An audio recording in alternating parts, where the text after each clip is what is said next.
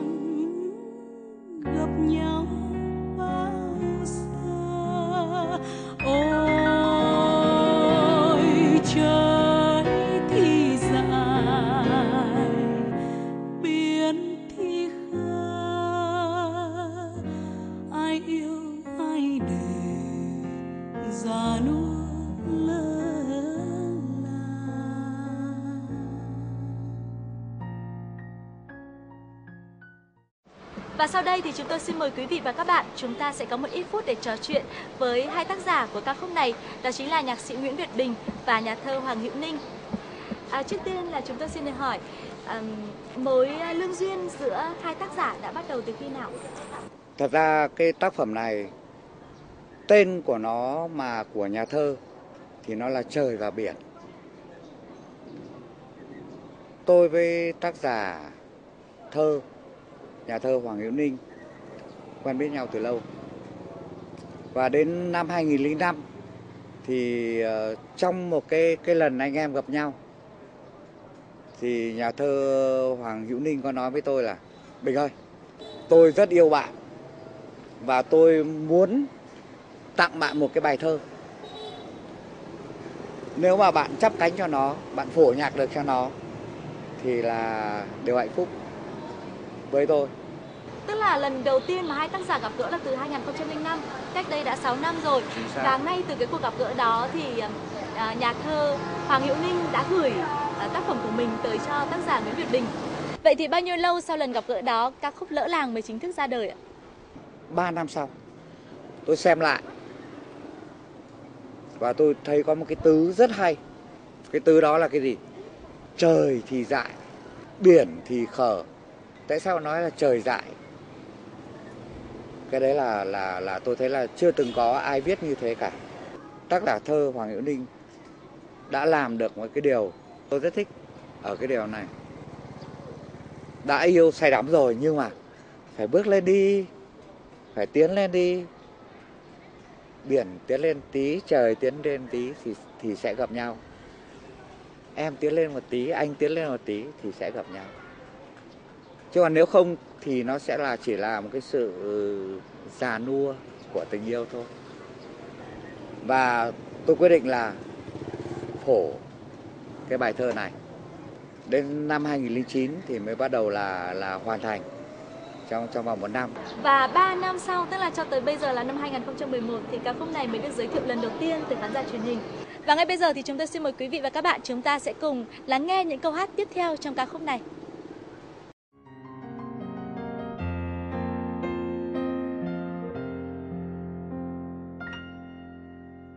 trời trong xanh biển trong xanh. Ai soi ai để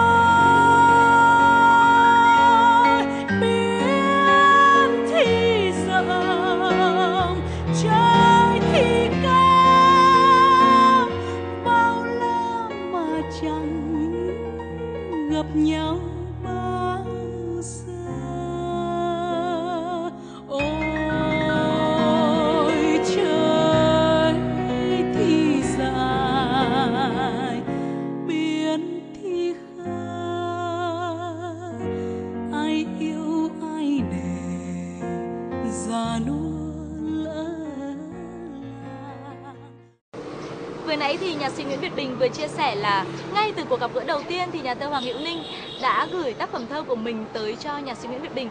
Vậy thì lý do gì mà nhà thơ Hoàng Hữu Ninh lại gửi gắm tác phẩm của mình là bài thơ Trời và Biển tới cho nhạc sĩ Nguyễn Việt Bình? Bản thân thơ, vốn dĩ nó đã mang đầy chất ngẫu hứng, cho nên cũng đối với nhạc sĩ nó cũng vậy thôi tức là trong một hoàn cảnh rất là ngẫu hứng thì tự nhiên nó thấy là thích nhau và gặp thì rất là gửi gắm vào tất cả vào nhạc chị. Vậy câu chuyện trong bài thơ Trời và Biển có bắt nguồn từ một cái câu chuyện tình có thật nào không? Một câu chuyện tình lỡ làng nào đó chẳng hạn? Bản thân câu chuyện Trời và Biển là bản tình ca. Trời và biển nó cũng có những cái tố chất như là hỉ nộ, ái ố. Cho nên bản thân nó như là cuộc đời. Thì cái này là một mối tình mà có thể nói là đã xuất xứ hàng triệu năm, nhưng mà vẫn chưa có hồi kết. Thế thì nếu như người đời người ta bảo là chờ đợi rồi là lỡ làng thì trời đất phải chăng nó cũng sẽ có lúc nó lỡ làng hay không cho nên là từ cái suy nghĩ ấy mà tôi viết cái bài thơ lỡ làng À, xin cảm ơn sự chia sẻ của hai tác giả. Và ngay bây giờ chúng tôi xin mời quý vị và các bạn, chúng ta hãy cùng thưởng thức trọn vẹn ca khúc Lỡ làng của nhạc sĩ Nguyễn Việt Bình, phỏng theo lời thơ Hoàng Hữu Ninh qua phần thể hiện của ca sĩ trẻ Minh Chiên.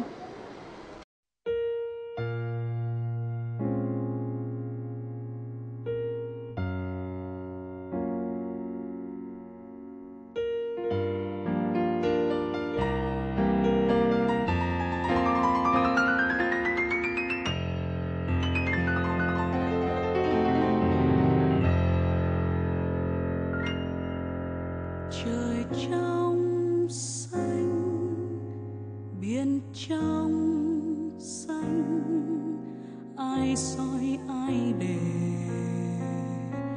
mà thành pha lê. Trời xi mê, biển xi mê, còn đâu tình nữa mà thế. over